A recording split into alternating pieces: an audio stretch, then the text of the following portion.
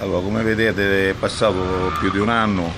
e non è, siamo sempre alle solite, non è cambiato niente, la strada continua a essere sempre chiusa e, ripeto, si continua a vedere sempre lo squallore, non viene più nessuno, le persone cioè, ormai stanno alla larga perché notano qua un via vai di vigili, quindi e le persone più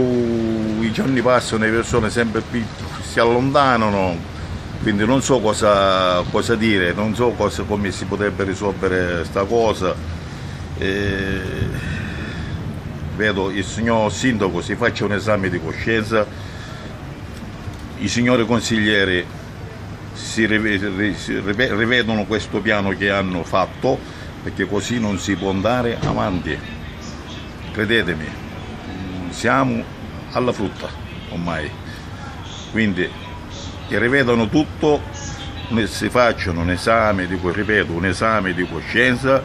e dire, e dire abbiamo sbagliato a fare quello che abbiamo fatto